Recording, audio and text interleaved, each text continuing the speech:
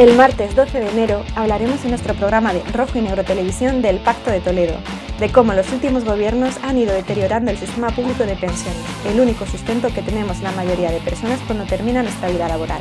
Desde Canal 33 de la TDT de Madrid y para el resto del estado desde nuestra web rojoynegrotv.org, el martes 12 de enero a las 21 horas, te esperamos.